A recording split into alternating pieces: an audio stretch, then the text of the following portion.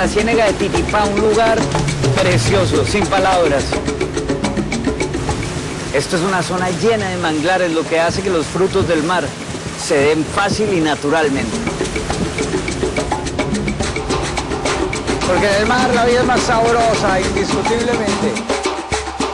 Bueno, llegué a la isla de Titipán, que aparte de sus bellos manglares, de su verde mar, también tiene playas blancas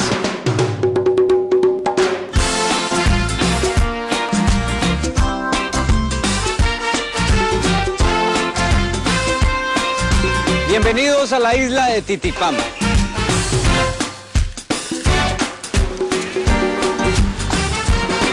Un lugar con playas blancas, un mar color verde esmeralda, un lugar ideal para descansar, para tomar el sol. Este es nuestro país.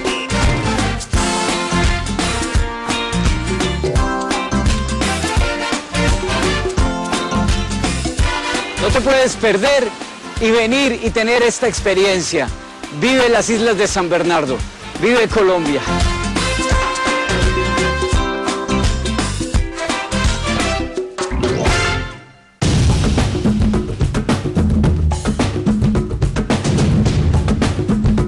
Ahora vamos al islote de Santa Cruz, el lugar densamente más poblado de Colombia. Vamos para allá y hoy el mar está espectacular.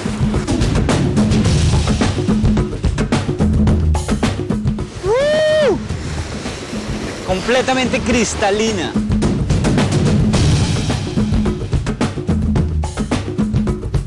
Realmente un lugar exótico, un lugar mágico, completamente distinto a lo que había visto en mi vida. ¡Hey!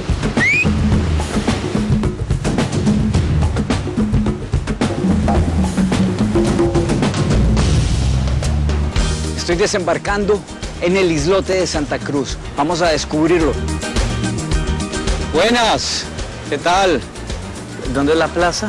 Esta es la plaza principal. Esta es la plaza.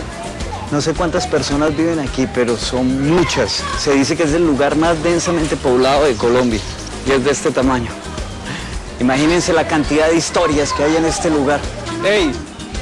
¿Bien?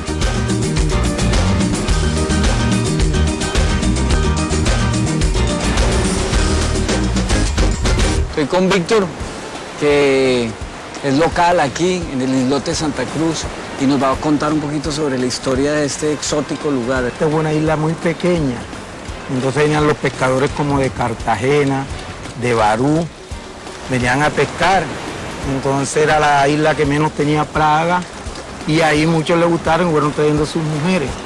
Y ahí cuando se fueron formando la familia. Hay más de 12 familias aquí. ¿Estaba vacía? Estaba Y- vacía. Y empezó a llegar gente. Gente, eh, fueron trayendo los pescadores, trayendo sus mujeres y ahí se fue alargando ya el personal, el caserío. Bueno, ahí habían algunas 20 casas en ese tiempo, me cuenta mi, mi papá. ¿Y ahora Era cuántas casas hay? Ahora hay 102 casas, tenemos ahí. 102 casas. ¿Cuánta Sí. gente vive aquí más o menos? Más o menos en el último censo habían 1.260 personas. 1260 personas y, el, y el, el área de la isla de cuánto es? El área de la isla es ¿Qué por ahí como de tiene? más o menos como a la redonda, puede tener ahí como 1.400 metros. Vive Colombia y Gracias. vívelo aquí, en el islote de Santa Cruz. Gracias. No, gracias Bueno, a ti, hermano. compadre. No, Muchas nada. gracias. Bueno. Mi siguiente destino, Isla Múcura. Confort y naturaleza. Un verdadero paraíso en medio del Caribe.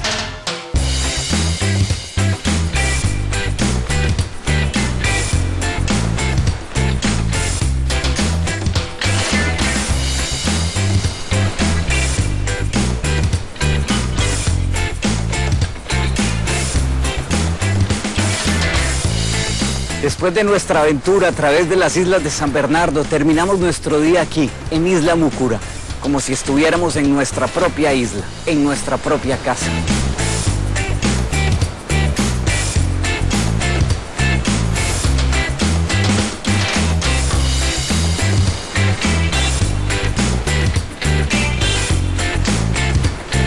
Destinos como este están al nivel de los lugares más exclusivos del mundo.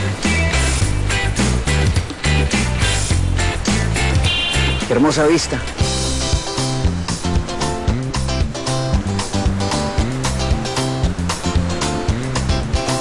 Conéctate con la naturaleza. Disfrútala.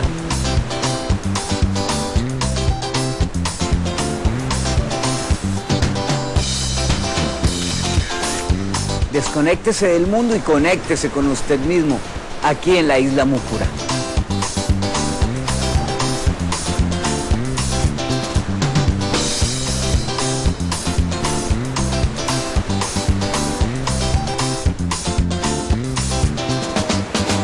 Bueno, estoy con Humberto, que es el encargado de todos los deportes náuticos que uno puede hacer aquí.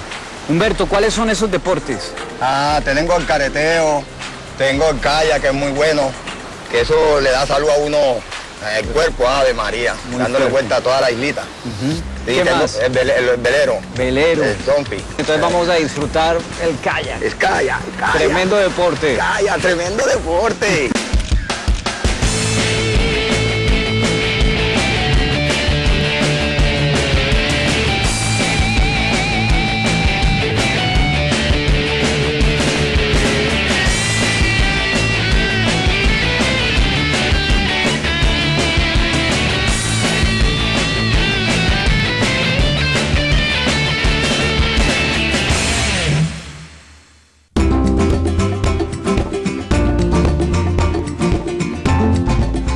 Este Sí. plato que tienes aquí, ¿qué es? Lo que tengo acá es un ceviche eh, de barracuda que se filetea en fileticos muy, muy, muy menuditos. Ya esto lo vamos a procesar con limón, sal, pimienta.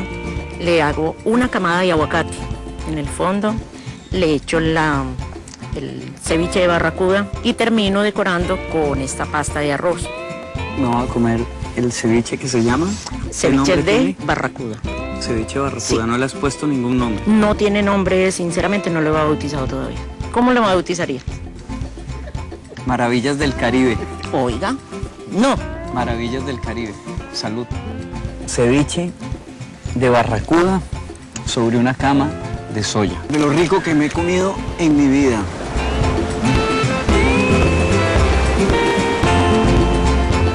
Si realmente quieres descansar, ven a las islas de San Bernardo y disfruta del sol, la brisa y el mar. Como dicen por aquí, bienvenidos al fin de la faena. Vive Colombia, el país que llevas en el corazón.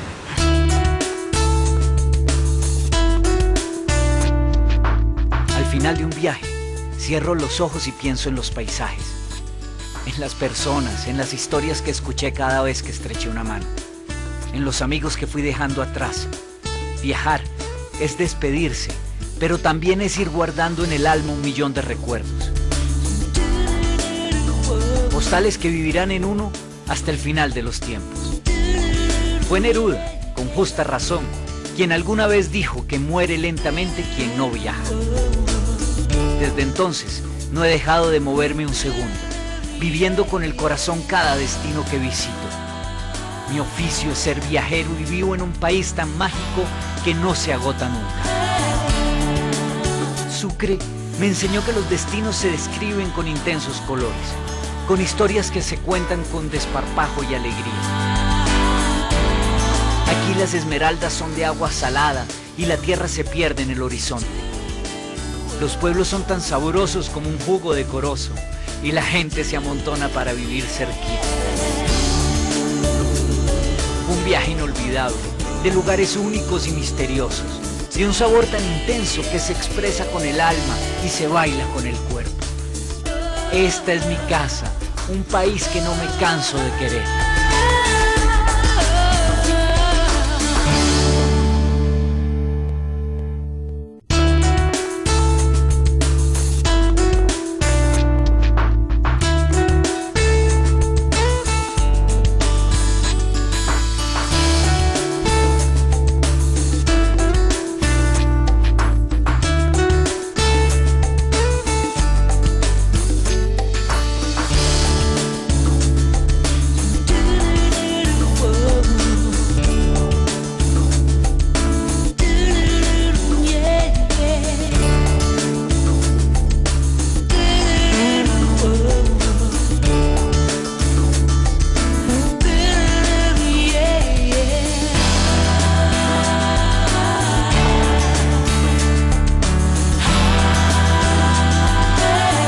1 TV, el programa del defensor del televidente del Canal 1. Patricia Gómez responde todas las inquietudes que tienen ustedes los televidentes del Canal 1. Los mejores invitados, los temas de interés. 1 TV, su espacio en el Canal 1. 1 TV, todos los lunes a las 12 y 30 del día por el Canal 1